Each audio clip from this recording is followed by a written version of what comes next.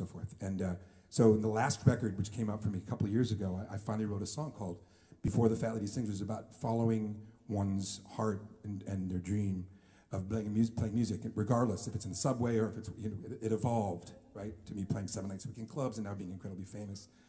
I'm kidding. Uh, getting to open from my friend Josh, but uh, so I wrote this song. So I'm sorry that was a long thing. I wanted to let you know that. And it was the song's also about the the what I call the divine affliction of being an artist. That one has to uh, one has to do it. It's not it's not up to us. We have to do it. We talked about that backstage too.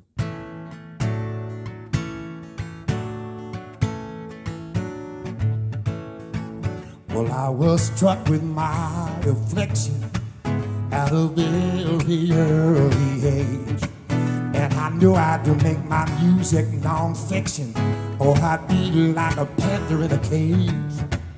I had no one to show me what to do. So I started playing in the underground just to maximize my acoustic and a feel through the filter of the blues. I started making sound. Well, you know not, this ain't no dress rehearsal. No, this is the real thing.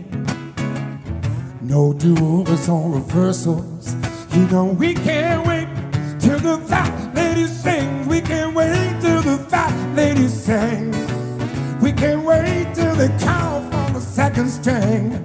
We can't wait till the fat lady sings. We can't wait till the knockout bell rings. Knockout bell rings.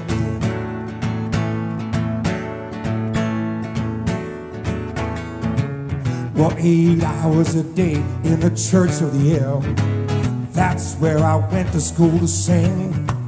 I led a blues band and a jazz quartet, and I made just enough money to live.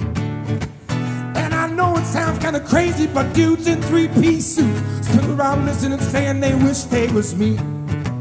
Cause I was following my heart, and I was living my dream. They said, man, well, that's what it means to be free. And I said, well, you know, this ain't no dress rehearsal.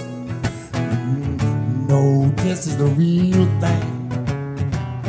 No do-overs or reversals. We can't wait till the fat lady sing. We can't wait till the fat lady sing. We can't wait till they call for the second string. We can't wait till the fat lady sings. We can't wait till the knockout bell rings. I've been doing this a long time. Only where I played has changed, but now I still see myself at Jackson and State. And I still hear them cats telling me I'm lucky. But now I know that luck, luck is what you make. Yes.